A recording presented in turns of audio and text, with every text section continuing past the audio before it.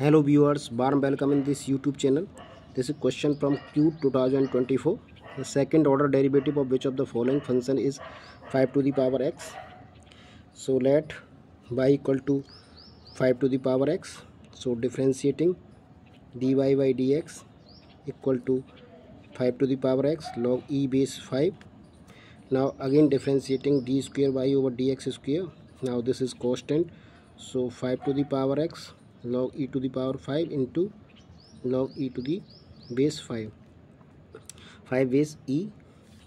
So this is 5 to the power x log e base 5 to whole square. So the correct answer is b. B is the correct answer of this question. This is the second derivative. d square y over dx square. So b is the correct answer. I hope you got it. Please like the video subscribe the channel thanks for watching